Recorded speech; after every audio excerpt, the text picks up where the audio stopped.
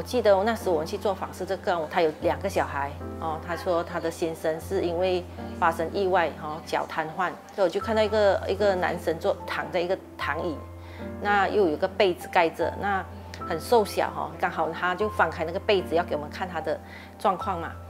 当时我看他的脚趾哈，他的脚趾哈有很多蚂蚁耶。他就讲了一句话，我我到现在还记得，他说他就是因为没有知觉，时常哈蚂蚁都在他脚上爬。盯他都没有感觉哦，你看是不是我们的脚跟手可以动哦，是多么的幸福啊！我觉得我在实际学习的是艰苦之父嘛。去做家访的时候，其实我都抱着那种哈感恩的心。还有一个就是看到他的生命，他的生命教育。新牙助学金的那个个案呢，大部分是学校提供，是因为孩子众多哦，或者是一些单亲，父母收入有限。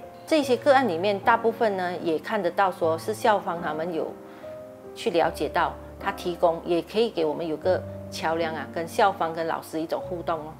从助学金个案里面呢，也有看到可以转换成长期照顾户的。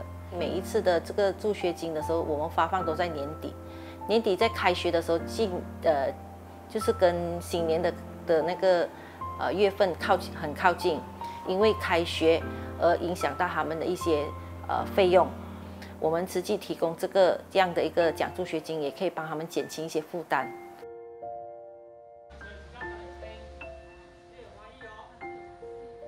其实，在访视里面，很多形形色色的个案。呃，我们访视员第一点，我们要感恩、尊重、爱哈。我们要询问的时候，我们要用一种感恩的心或尊重的心，而不是用我们自己的我见哈。因为感恩户的习气也有，我们自己本身也有。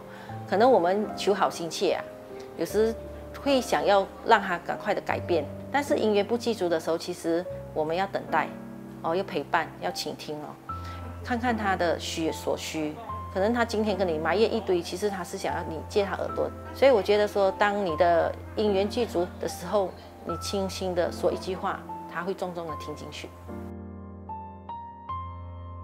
多一份善念，多一份平安，一人一善。远离灾难。